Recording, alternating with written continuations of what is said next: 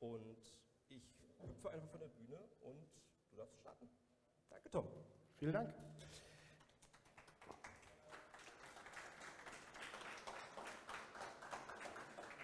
Wenn ihr in ein neues Repo geht, in ein neues Code-Projekt, auf GitHub beispielsweise, ähm, wenn ihr contributen wollt bei irgendeinem Open-Source-Projekt, dann steht ihr zunächst mal vor einem riesigen Berg an, ähm, an Aufgaben, die vor euch liegen, bevor ihr die erste einzige Zeile Code schreibt, um zu contributen. Ihr braucht ganz unten einen Code-Editor. Visual Studio Code, PHP Storm, manche nutzen VI oder Nano. Das braucht ihr natürlich, bitteschön. Dann braucht ihr für viele Projekte wahrscheinlich ein installiertes Node vermutlich noch in der richtigen Version. Wenn ihr SAS kompilieren wollt, wenn ihr Abhängigkeiten nachziehen wollt, braucht ihr das auf eurer lokalen Maschine, um coden zu können. Ihr braucht natürlich auch PHP. Das sind die Versionssprünge nicht so groß, aber manchmal braucht man noch Composer dazu, um überhaupt das Projekt lokal zum Laufen zu bringen. Ihr braucht einen, ähm, einen Webserver, ihr braucht eine Datenbank, das machen manche mit XAMPP, mit LAMP, manche machen es mit Docker. All das braucht ihr, um überhaupt erstmal WordPress bei euch lokal installieren zu können. Und erst dann könnt ihr anfangen, die erste Zeile Code zu contributen. Da habt ihr schon eine ganz lange Reise hinter euch. Und genau hier kommen jetzt die Code Spaces ins Spiel. Die sind nichts anderes als eine Abkürzung. Die Time to First Line of Code wird drastisch reduziert. Ihr habt buchstäblich einen Klick, das zeige ich euch gleich, und da könnt ihr genau diese Punkte, die da bisher notwendig waren, die werden alle automatisiert, die werden in der Cloud, in einem GitHub Codespaces, Codespace für euch vorbereitet und ihr könnt sofort anfangen zu coden. So schaut das Ganze aus. Das funktioniert für jedes GitHub-Repo. Das muss kein PHP-Projekt sein, das kann ein Java-Projekt, das kann ein Rust, ein Go-Projekt sein, alles egal. Ihr braucht auch einen ganz normalen GitHub-Account, ihr braucht keinen besonderen Account dafür. Ähm, ihr habt hier ähm, ein, ein, normales GitHub-Repo, in dem ist ähm, äh, WordPress vorbereitet, das schauen wir uns gleich an. Und da gibt es diesen Code. Und wenn ich jetzt hier draufklicke, dann geht hier einfach ein ähm, neues Fenster auf. Ich kann entweder dieses ähm, äh, Repo ganz normal klonen, so wie ihr das schon kennt. Ich kann aber auch sagen, ich möchte einen Codespace kreieren und zwar im Branch Main. Und da klicke ich jetzt drauf, genau. Und was passiert jetzt im Hintergrund? Ähm, in der Cloud, also auf einem Server von GitHub, wird ein Container hochgefahren, ein Docker-Container. In diesem Container wird ein VS Code hochgefahren ähm, und alles, was wir uns jetzt gleich anschauen, wird für euch vorbereitet. Das dauert eine Weile. Das heißt, ihr könnt erstmal, wenn ihr das erste Mal einen Codespace startet, erstmal einen Kaffee trinken gehen. Das erste Mal dauert es, weiß nicht, fünf, sechs, sieben Minuten, je nachdem. Aber der Codespace wird für euch zwischengespeichert und wenn ihr morgen ähm, wieder hingeht, dann ist, der schon, ist die, diese lokale Entwicklungsumgebung in der Cloud für euch schon vorbereitet. Nach dem Kaffeetrinken kommt ihr zurück ähm, und ihr seht dann hier, ähm, das ist in dem Falle eine VS Code Oberfläche. Also wer von euch VS Code kennt ähm, oder nutzt, kennt genau diese Oberfläche. Es gibt übrigens auch Module für PHP Storm, dann könnt ihr das mit eurer lokalen Installation von PHP auch nutzen. Aber ihr seht in VS Code ganz normal, ich habe links das Repo schon ausgecheckt, automatisch. Das heißt, das sind die Dateien, die ganz normal im Repo drin sind. Ich habe hier meinen Code-Editor, da ist die README-MD automatisch geöffnet und ich habe hier unten dieses Terminal. Und normalerweise also jetzt bisher ist lediglich das Projekt ausgecheckt in diesem Codespace. Was jetzt automatisch passiert, ihr könnt es per Hand machen oder automatisieren, bitteschön.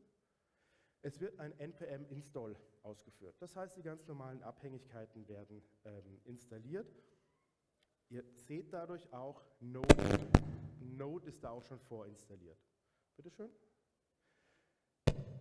Die Spezialisten unter euch, was habe ich für einen Code hier ausgeführt? Mal reinrufen. Lars, wenn diese Ausgabe kommt, welchen Befehl habe ich vorher ausgeführt? Wie bitte? Install, was für ein Install? Composer Install, genau. Das heißt, in dem Fall habe ich per Hand Composer Install ausgeführt, es werden die PHP-Abhängigkeiten installiert. Wie man das automatisiert, zeige ich euch in ein paar Minuten. Bitte schön. So, dann mache ich hier ein npm Run Up. Das ist jetzt ganz speziell für dieses Projekt.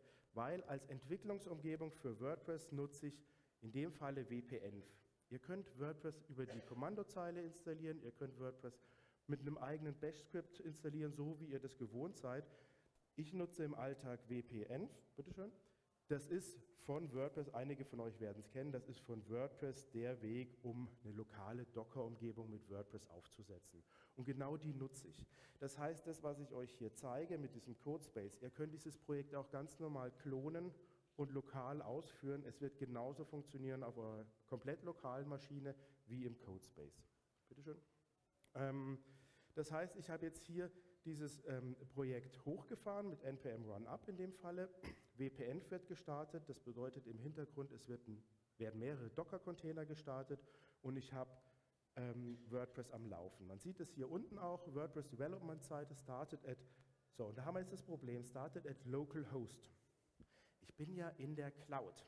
Wie schaut das aus? Das macht jetzt WordPress, ähm, äh, Codespaces für mich automatisch. Ich habe hier verschiedene Ports, die werden einfach weitergeleitet. Das heißt, ich habe hier, ohne dass ich bisher irgendwas gemacht habe, ich habe nur auf Create Codespace on Main geklickt, ich habe hier ein WordPress installiert und ihr seht oben die Adresse. Die setzt sich zusammen aus erstmal SSL, HTTPS und dann Codespaces bekommen irgendwelche klingenden Namen automatisch. Ich kann den Namen zwar vergeben, aber ich kann den Standardnamen nutzen. In dem Falle eben Bookish Space Basin, dann irgendein random String und dann app.github.dev. Das heißt, im Codespace läuft mein Localhost und der wird hier einfach nur weitergeleitet, sodass ich das ganz normal nutzen kann. Das kann auch nur ich nutzen weil das mein Codespace ist. Das kann niemand anders mit einem GitHub-Account nutzen, ähm, aber ich habe das hier, habe den vollen Zugriff drauf. Gehen wir wieder zurück in den Code-Editor, der ja auch komplett im Browser läuft. Ähm, ihr seht hier die einzelnen Ports, also bei WPN ist es so, es werden mehrere Ports aufgemacht, es gibt die normale Installation von WordPress, es gibt eine Testumgebung, aber die sind hier auch nochmal genau aufgelistet und da kann ich direkt drauf zugreifen und damit arbeiten. Ähm, in dem Falle habe ich in dem Code Space den, ich kann den, also wie ich ihn konfiguriere und anpasse, zeige ich euch gleich. Was in dem Beispiel äh, Codespace drin ist, ähm, das ist schon ein Code Sniffer, also PHP CS, der einfach schaut, ob meine Linting Rules, ob ich die Abstände richtig gemacht habe, ob ich die Klammern an der richtigen Stelle setze und so weiter. Das überprüft er schon und zwar werden auch schon die Word, wird schon der WordPress Standard schon, ist schon voreingestellt. Das müsste ich sonst bei mir lokal einfach dran denken, dass ich das mache. Und wenn ich mit verschiedenen Projekten arbeite, dann muss ich das manchmal hin und her wechseln. In dem Falle ist es automatisch schon drin. Ihr seht, ähm, hier ist es unterkringelt, weil eben hier das Leerzeichen fehlt. Ist von Haus aus dabei, ohne dass ich irgendwas mache. Ähm, ich habe in diesem Beispielrepo auch schon ähm, den Code Beautifier drin. Das heißt, wenn ich selber, ich weiß ehrlich gesagt nie, wo ich eine Klammer setzen muss, also eine Klammer schon, aber wo das Leerzeichen hin muss und so weiter. Ich gehe auf Dokument formatieren und dann macht er das automatisch. Ist von Haus aus dabei, ohne dass ich auf irgendwas Rücksicht nehmen muss und das eine andere PHP-Version ist ja alles gekapselt in der Cloud. Ähm, ich habe auch schon ähm, WordPress-Dokumentation dabei, also wer VS Code nutzt, es gibt ja eine Reihe von VS Code Extensions, speziell für die WordPress-Entwicklung, also Dokumentationen beispielsweise, ist standardmäßig schon drin. Ich fahre mit der Maus einfach über, eine WordPress, über einen WordPress-Funktionsaufruf und bekomme dann hier eben die Zusatzinformationen, ohne dass ich irgendwas machen muss. Ähm, das Ganze läuft ja auf GitHub, das heißt, ich habe auch automatisch schon dieses Git-Repo ausgecheckt. Das seht ihr jetzt ganz links. Ähm, ich könnte jetzt hier meine Änderungen einfach committen. Das kann ich bei mir in meinem Repo machen.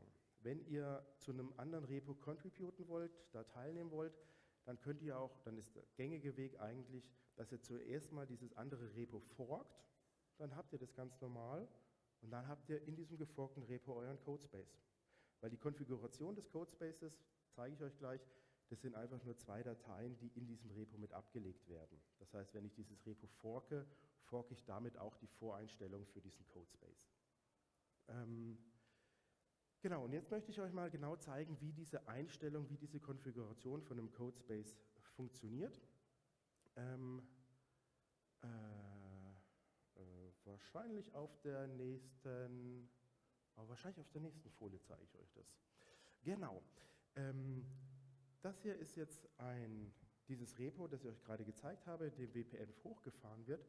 Und dieses Repo hat ein zusätzliches äh, Verzeichnis, das heißt .devcontainer. Und in diesem Verzeichnis sind zwei Dateien drin, nämlich die devcontainer.json, da sind die Voreinstellungen für den Codespace drin, und postcreate-command sh, das heißt, ähm, ihr könnt, wenn ihr den äh, Container hochfahrt, noch arbitrary ähm, äh, eigene Befehle hochfahren. Schauen wir mal in die devcontainer.json rein. Das ist eine normale JSON-Datei, die sagt zum Beispiel in diesen drei Zeilen, in meinem Codespace brauche ich PHP, ich brauche Node und ich brauche Docker in Docker. Das sind die Voraussetzungen, die ich euch vorhin, von denen ich vorhin gesagt habe. Man braucht Node, man braucht PHP, man braucht Docker. Mehr brauche ich nicht, weil Apache und MySQL ist ja dann in Docker gekapselt quasi. Und dann sage ich weiterhin, ich möchte, wenn man das in VS Code aufruft, noch ein paar Extensions haben, die es in VS Code einfach gibt. Das heißt zum Beispiel die WordPress Docs oder ähm, den PHP Code Sniffer und Code Beautifier. Das muss ich, in der das muss ich nicht nutzen, um zu, ähm, äh, zu arbeiten mit VS Code, aber hilft natürlich im Alltag, wenn diese Extensions schon installiert sind. Und dann sage ich, hey, wenn das Ganze hochgefahren wird, dann führe bitte noch diese Befehle aus, die in PostCreate-Command definiert sind. Ähm, das sind genau diese Befehle PostCreate-Command. Das heißt, dieser Docker-Container wurde hochgefahren, das läuft alles. Und was mache ich hier im Endeffekt? Ich mache das, was ich euch vorhin gesagt habe, ein npm install, ein composer install und dann ein npm run up. Damit wird mein Projekt automatisch hochgefahren, ohne dass der Programmierer oder die Programmiererin, die zum ersten Mal dieses Projekt nutzen und contributen will, irgendetwas machen muss. Zu guter Letzt kann ich noch für VS Code die ähm, Einstellungen speichern, also die Settings. Also VS Code habe ich den Dark Mode oder den hellen Mode, welche ähm, möchte ich mir Zeilennummern anzeigen oder nicht, möchte ich, wenn es gespeichert wird, automatisch formatieren und so weiter. Das sind die ganz normalen regulären Einstellungen. Wer PHP Storm verwendet, für den ist diese Datei wird einfach ignoriert und wer VS Code verwendet, der hat dann diese Voreinstellungen, von denen kann man abweichen aber in dem Falle ist es eben schon von vornherein als Vorschlag mit dabei. Ja, genau, das war es auch schon. Das heißt, hier nochmal zusammengefasst, ähm, um in eurem Projekt nachher, nach der Mittagspause einen ähm, äh, ähm, Codespace äh, anzulegen, müsst ihr im Endeffekt nur ein .dev-Container-Verzeichnis anlegen und da eine dev-container-JSON reinlegen. Voraussetzung, um das dann nutzen zu können, ist ein Browser. Das heißt, wenn ihr am Samstagnachmittag zu euren Eltern fahrt, euer Laptop leer ist, sagt ihr, hey Mama, gib mal schnell deinen Computer, loggt euch ein und dann wird dieser, dieser Codespace hochgefahren und ihr könnt an jedem beliebigen Computer, wo ihr auf euren Zugriff auf euren GitHub-Account habt, ähm, den Codespace nutzen. GitHub-Account GitHub ist Voraussetzung, aber der ist kostenlos und hinter dem QR-Code versteckt sich diesen, dieses Beispiel, das ich euch gezeigt habe. Viel Spaß beim Coden und vielen Dank fürs Zuhören.